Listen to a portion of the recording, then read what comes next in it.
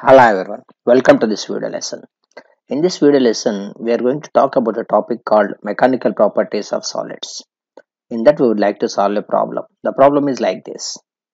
If the length of the wire is stretched double to its length, how does the elongation is got affected? We know these are obviously depending on stress and strain. We have a, as this is about the length, we have a stress acting along the length called something like longitudinal stress.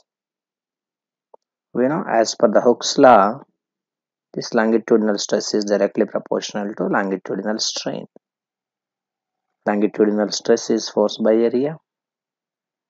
Longitudinal strain is increase in the length by original length.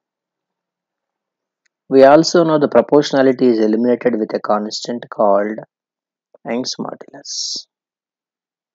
So we can write Young's modulus as force by area, longitudinal stress by longitudinal strain. Rearranging the terms, force into length by area into delta L. Now it is given in the problem that if the information is given only along the length, is given like if length is doubled, a wire is stretched in such a way that its length is doubled. So you have applied some force, its length is doubled. Because you have doubled the length, y is not going to be affected because y is a measure of nature of the material. It depends on the nature of the material. As the material remains same, Young's modulus remains same. How delta L get affected is our question.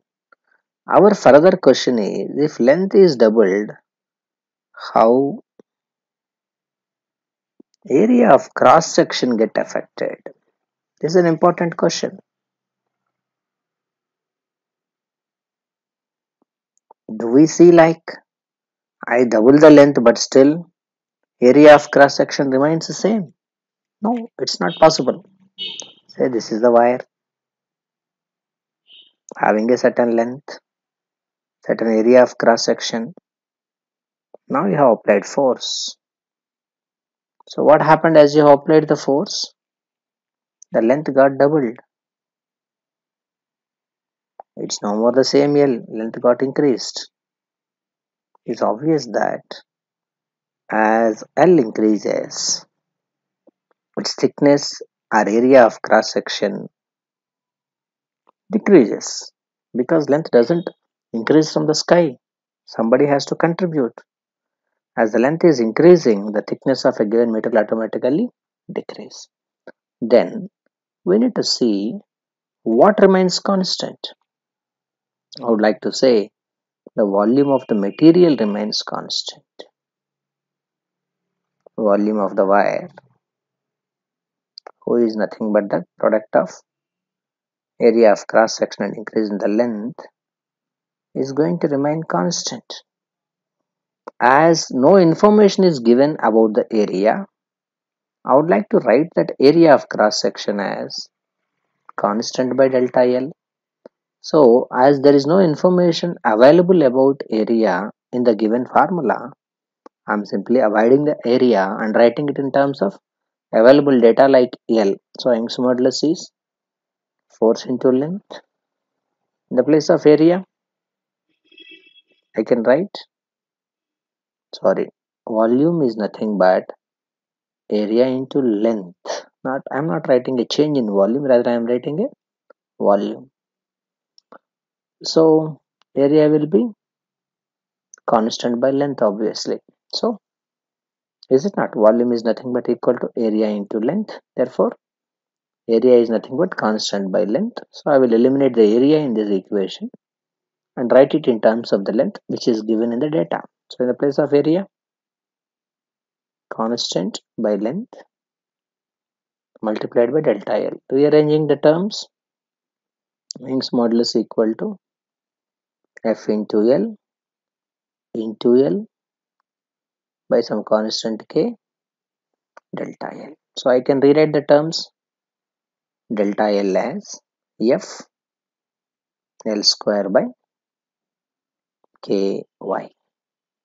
Now in the given data, f is a constant, k is already constant, Young's modulus is constant for a given material. Then what we can write? Delta L increase in the length of a wire is directly proportional to L square. Now let's come to the question. Delta L1 by delta L2 equal to L1 by L2 whole square. Now increase in the length in the first case when the length is L.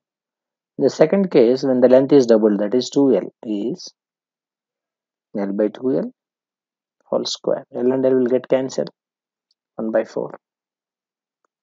So I can say delta L2 is 4 times of delta L. What it means is if the length is only L, if the length is only L, if the wire expands by some x, when the length is stretched double to the length, the wire is going to expand by a value of 4x. It's not 2x, it's 4x because we have eliminated area and written in terms of the given data of the problem that's nothing but length. Thank you for watching. Keep coming back for more and more video lessons. Thank you.